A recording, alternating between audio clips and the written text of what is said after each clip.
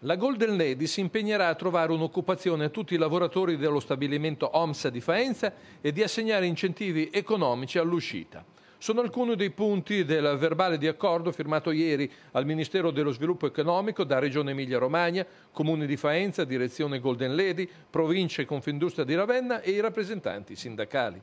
Nel documento l'azienda ha premesso che l'ipotesi di reindustrializzazione avanzata lo scorso 22 dicembre si presenta più complessa e incerta di quanto l'azienda stessa ha descritto alle parti e alle istituzioni. Da qui l'impegno a nuove soluzioni. La Golden Lady avvierà una concreta e immediata azione di ricerca delle soluzioni imprenditoriali, si legge nel verbale, che diano occupazione a tutti i lavoratori e lavoratrici dell'OMS di Faenza. Contemporaneamente scatteranno gli incentivi all'esodo.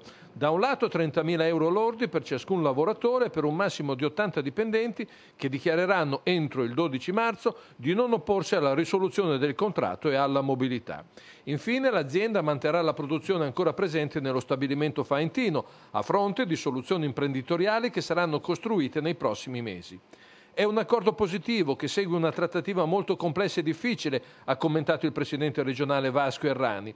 Ora si apre una fase nuova di impegno per tutti i firmatari, ha aggiunto, per affrontare le due questioni più importanti, il problema occupazionale e la reindustrializzazione del sito.